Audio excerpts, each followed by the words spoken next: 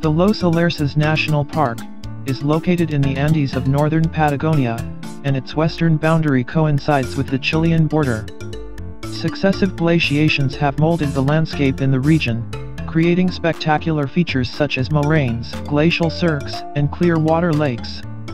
The vegetation is dominated by dense temperate forests, which give way to alpine meadows higher up under the rocky Andean peaks. A highly distinctive and emblematic feature is its Alerce forest. The globally threatened Alerce tree, is the second longest living tree species in the world. The Alerce forest in the property, is in an excellent state of conservation. The property is vital for the protection of some of the last portions of continuous Patagonian forest in an almost pristine state, and is the habitat for a number of endemic and threatened species of flora and fauna.